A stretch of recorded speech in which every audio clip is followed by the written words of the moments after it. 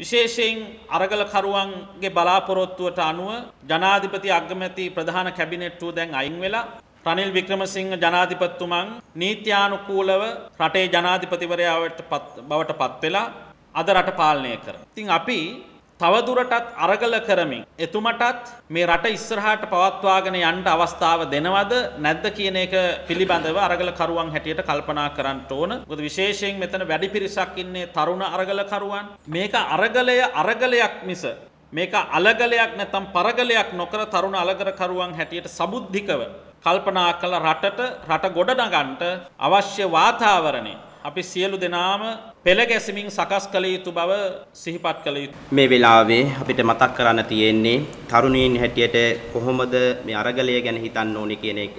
ඒ නිසා අපි හැමෝටම දැනෙන ප්‍රශ්නයක් තමයි පෙට්‍රල්, ඩීසල්, ගෑස් ඒව කොහොම නැහැ. ඒ වුණත් අපිටත් ඒවා කිසිවක් නැහැ. ඒ නිසා පත්වෙච්ච පාලකයන්ට ඒවා කරගන්නට යම්කිසි කාලයක් අපි ලබා දෙන්න ඕන. අනේ නිසා ඒ ජනාධිපතිතුමාට අපි සහයෝගය ලබා දෙන්න ඕන හැමෝම එකතු වෙලා මේ රට මේ අගහතෙන් ගොඩ ගන්න. දිනෙන් දින අරගල කරලා මේ රට ස්වයංපෝෂිත රටක් කරන්න බෑ. ඒ නිසා අපි අරගලෙන් ටික කාලයකට හරි ඈත් වෙලා මේ රට වෙනුවෙන් යම්කිසි දෙයක් සිද්ධ කරන්න ඕන.